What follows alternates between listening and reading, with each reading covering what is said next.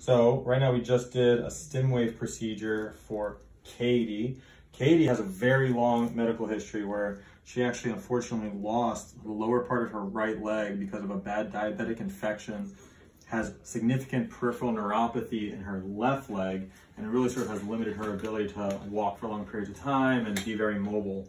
So what we did already for her is, I'll, I'll show you pictures later, we put two Stimwave leads, one on the inside, one on the outside of her leg, and right now the StimWave programmers, Alex and Adolfo, are gonna be programming to try to give her a good relief. So Katie, you know, you just came out of that procedure and tell me what was your overall experience and be completely honest.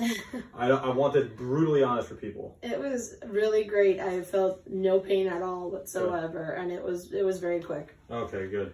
You felt comfortable for the most part? I know, there was, I know we were a little late. I'm sorry about no, that. everything else was okay? Yeah, everything was fine. And this was all done with just local anesthetic. We just numbed up the site where we placed the, the introducer for the leads.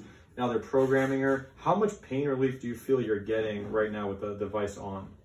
It feels it feels better. It's getting to the point where it's almost like completely like I can't feel anything. So Oh really? Yeah.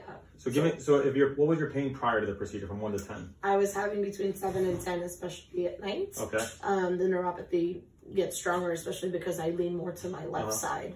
So um And what is it now with the with the with the therapy on? It's like a two, three. So that's really good. Yeah. Okay, so this was the trial. We'll see how she oh you want to say something? No. this is the trial. We'll see how she does. And I'm confident you're gonna be a, you're gonna be a home run, and then we'll talk about the implant later. That's it.